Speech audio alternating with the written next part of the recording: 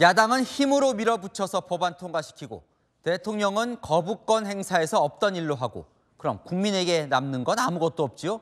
여야 싸운 것 말고는요? 안 싸우겠다 신사협정 맺었지만 본질은 변한 게 없습니다. 총선까지 남은 5개월 또 얼마나 싸워야 될까 벌써 답답합니다. 마침표 찍겠습니다. 부질없는 힘자랑 뉴스에 마칩니다. 감사합니다.